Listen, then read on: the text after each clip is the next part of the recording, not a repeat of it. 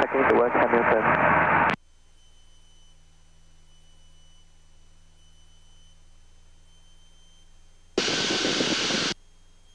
More.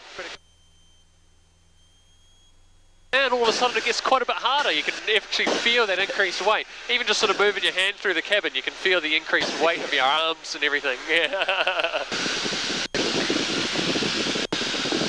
Go. Alrighty, here we go.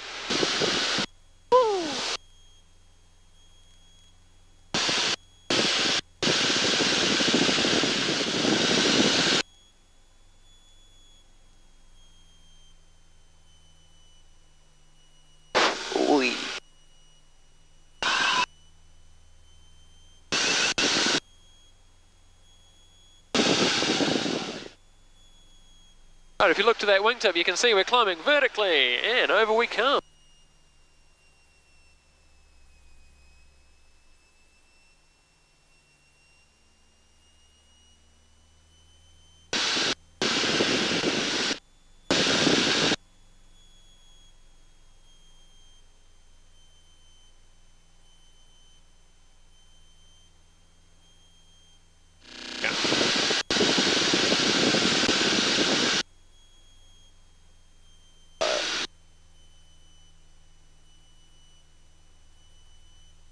Into an aileron roll. To the right.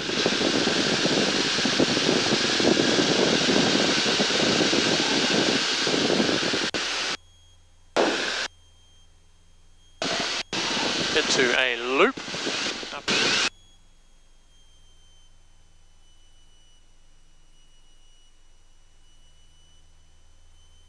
To the right.